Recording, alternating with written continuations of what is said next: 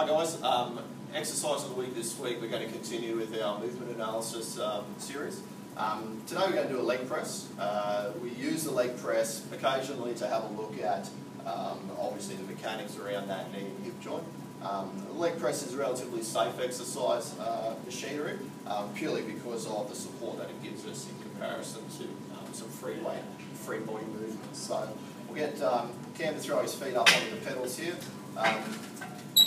most important thing we're looking in the early stages of the setup is nice straight foot alignment. Yep, we don't want to be externally or internally rotated too much because that can put uh, uneven pressures through the knee joint. Um, so we set up hip to shoulder width apart, make sure the feet are facing nice and straight. And we also ensure that those knees are following the same kind of path. Okay, always draw a line from the outside of the hip through the midline of the knee to the inside of the ankle. Okay, two fixed points aren't going anywhere. The knee is the only variable in or out. So we want to try and keep it in a nice straight line there.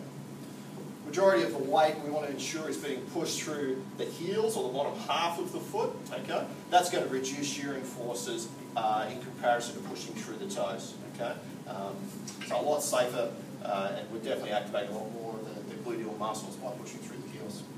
Take the weight and we'll push out to an extension. We don't go to a full lockout, okay, because that obviously causes quite a few dramas in uh, a healthy knee but even more so in an injured knee. So do a soft lock, much like Cam's there, almost straight with a little bit of flexion still, and then slow and controlled on the way back. And then repeating. And then all we're looking there is ensuring that Cam is keeping an equidistance, yep, that we're not moving the knees in and out through that movement. Okay? And that'll give us a good understanding of his ability to control through glute med yeah, but also then through the strength of uh, quadricep musculature uh, and also those glutes as well.